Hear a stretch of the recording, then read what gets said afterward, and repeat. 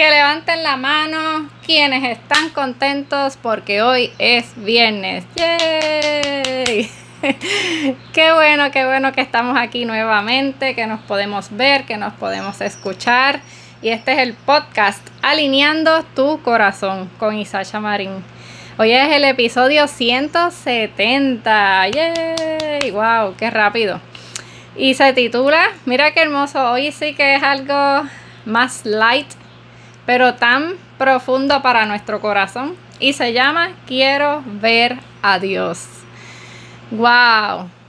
Para yo explicarte por qué surge este tema, yo te lo voy a, comparar con la vida fitness. ¿Por qué será? Obviamente, ese ha sido desde el 2002 mi, mi trabajo aunque fuera de manera parcial, siempre me mantuve activa en el campo del fitness y del acondicionamiento físico. Y una de las maneras de uno entender lo sobrenatural es explicándolo con cosas naturales. Así lo hizo Jesús y por eso es que entendemos par de, de, enseñanzas que él dejó sobre el reino de los cielos. Y si vamos a hablar de, del fitness, yo te voy a hacer una pregunta. ¿Por qué tú ves a unas personas en específicos tonificados y, y que logran esa meta de mantenerse fit, de mantenerse musculoso en caso de los hombres, de mantenerse saludable, un estado saludable de energía todo el tiempo? Sí, quiero que piensen, ¿por qué ellos lo logran y tú no? O yo no. Hay que tomar, hay que internalizar las cosas. No, no te vengo a regañar, no te molestes conmigo, vamos a escucharla hasta el final que te va a gustar. Pues miren, una de las cosas que tú ves en esas personas que logran llegar a ese estado de salud bien, bien positivo, bien lleno de energía, comiendo saludable, es porque llevan un estilo de vida. No es que hacen una dieta y ya. Sí, vamos otra vez. Cuando yo decido hacer una dieta, que no está mal que hagamos dietas, porque dentro de, de mis años de, trabajar en el fitness, hubo momentos que yo tuve que hacer dietas para lograr unas metas en específico y después volvía a mi vida normal. Pero obviamente siempre más saludable de lo normal. Pero yo me di cuenta, estoy hablando de, de Isacha, después de los 34 años más o menos, que yo empecé a experimentar en mi cuerpo que ya no bajaba de peso tan fácilmente y que ya me estaba viendo, tú sabes, estaba viendo otras situaciones en mi salud que no me estaban gustando.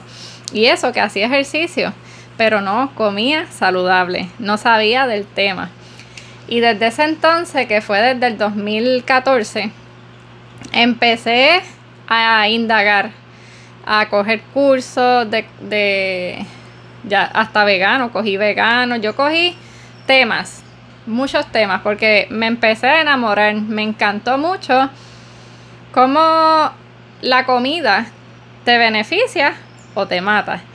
Y de ahí, de todo ese conocimiento, yo decidí llevar un estilo de vida saludable.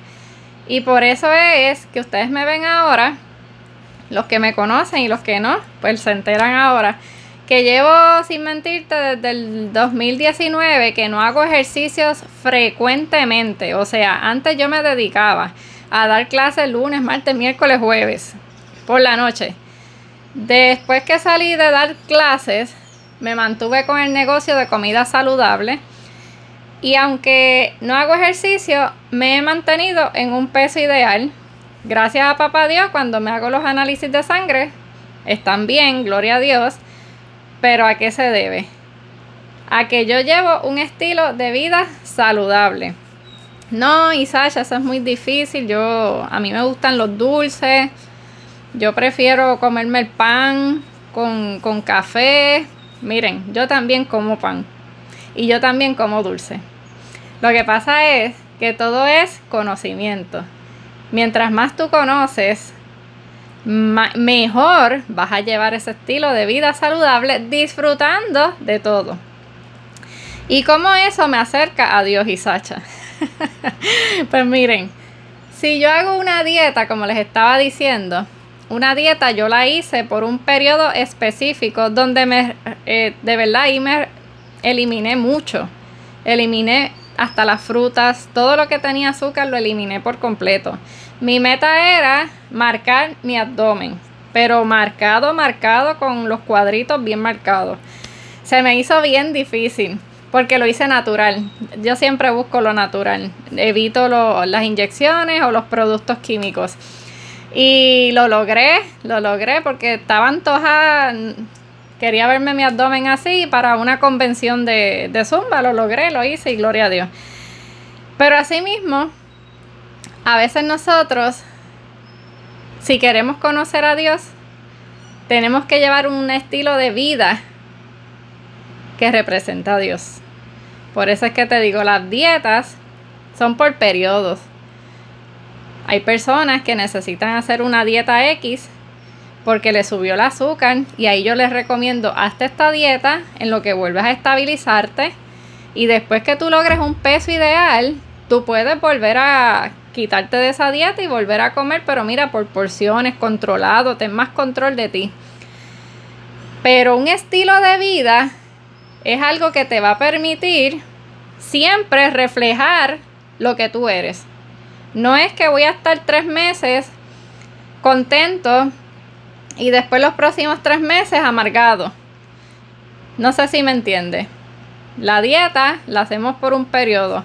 No que viene la graduación de mi hijo. Me tengo que poner a dieta para el traje. Pasó la graduación, pasó la boda, pasó el quinceañero pasó la playa porque muchas personas, eso en el campo del fitness, eso es siempre lo mismo. Tiene ya unos picos de que ya yo sé cuándo la gente viene porque quiere verano. Y viene el bikini, el traje de baño y ahí se, se ponen para su número. Y, y por eso están en un sub y baja. ¿Por qué? Porque no es un estilo de vida. No lo ven como ya algo parte de mí lo ven como que es un resuelve para algo específico, para esta boda, para esta graduación. Y ahí es que yo me preparo para eso, paso eso, ya. No necesito más nada comer saludable ni hacer ejercicio. Hasta que entonces llegue una enfermedad, espérate, ahora tengo que volver a, al estilo de vida. Pues miren, para hablar de Dios y conocer a Dios, vamos para primera de Juan 4 12 y voy a leer la Biblia. Nadie ha visto jamás a Dios. Pero si nos amamos los unos a los otros, Dios permanece entre nosotros. Y entre nosotros su amor se ha manifestado plenamente. Vamos a empezar con este versículo hermoso. Nadie ha visto a Dios, pero yo quiero ver a Dios. Pues aquí dice que si nosotros amamos los unos a los otros, Dios permanece entre nosotros y entre nosotros su amor es manifestado. Que si yo quiero ver a Dios con solamente verte a ti y tú demostrarme tu amor y tú yo, yo veo en ti a Dios. ¿Por qué? Porque tú me estás dando fruto de Dios porque Dios es amor. Y lo dice aquí mismo en primera de Juan 4, pero en el 16, que dice Dios es amor. Si yo quiero ver a Dios y por ejemplo, estoy pasando una necesidad y llegó alguien de la nada y me trajo una comprita, yo estoy viendo a Dios, porque ese es Dios a través de esa persona. Entonces, tú estás reflejando a Dios. Tú estás brindando amor todos los días? ¿O solamente a quien te trata bien? ¿O solamente pues en el trabajo? Cuando llego a casa, exploto con todo el mundo y saco todo el estrés con toda mi familia. Para nosotros ver a Dios, tenemos que empezar a nosotros vivir a Dios dentro de nosotros. Porque es Él quien va a vivir dentro de nosotros, porque lo dice aquí. ¿Cómo sabemos que pertenecemos en Él y que Él permanece en nosotros? Estoy leyendo el versículo 13. ¿Por qué? Porque cuando yo decido decir y aceptar que, que es, Jesús es mi Salvador, ahí viene el Espíritu Santo a habitar en nuestro cuerpo, dentro. Y nosotros hemos llegado a saber y a creer que Dios nos ama. Dios es amor. Él permanece en amor. Permanece en Dios y Dios en Él. ¿Viste qué bonito? Cuando hablamos de la palabra permanece, es un estilo de vida. En el campo del fitness saludable, pues en el campo de Dios es amor. Es un estilo de vida de amor las 24 horas, los 7 días a la semana. Lo sé. Sé que estás, estás pensando en el corte de pastelillo que te hicieron y que se te subió el humo. O estás pensando en la cuando te tiraron un cliente, te tiró el dinero estrujado y tú eres cajera y tuviste que respirar hondo y sonreír. Sí, lo sé, tenemos que hacer así. Esto tiene que ser un estilo de vida para siempre. Siempre permanecer en el amor para que otras personas vean a Dios a través de nosotros. ¿Cómo una persona va a creer en Dios si dentro de, si de mis actitudes lo que ve es contienda, lo que ve es una cara larga, lo que ve es chisme, lo que escucha, lo que ve es como que hipocresía, ¿no? ¿Cómo yo voy a invitar a alguien a la iglesia y que vaya con esa confianza porque tú tus actitudes reflejan a Dios y lo llenan a esa persona de inquietud contra. Ella se ve diferente. Él me trata diferente. Y yo le, y yo le grité. Y aún así, ella está con una paz. Él está tranquilo. No me, él nunca me ofende. Es un estilo de vida. Y es un estilo de vida que tú lo tienes que buscar como el ejercicio y como la comida saludable. Es un estilo de vida que cada vez que tú te conectas con Dios, Dios te vuelve, mira, a dar la energía que tú necesitas. Es como el celular cuando se está descargando. Hay que buscar energía. Así mismo es nuestra fe.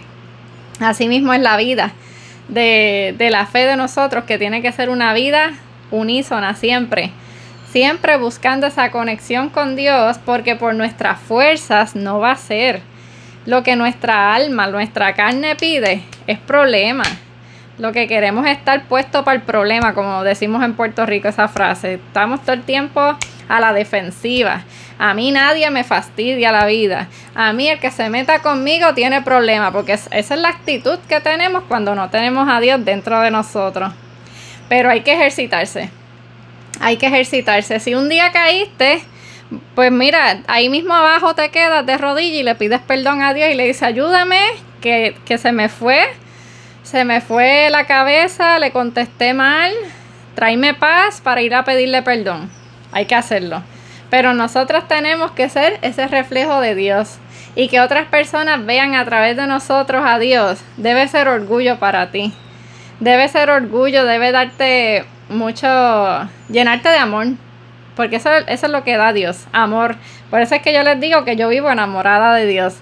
Porque cuando tú sigues leyendo la Biblia, Él te sigue hablando y te sigue uniendo esos lazos y, y tú conoces a un papá tan amoroso. Esto es una carta de amor que Dios nos ha dejado, la Biblia. Así que en el día de hoy, yo les dije que era light. Tenemos que llevar una vida de amor.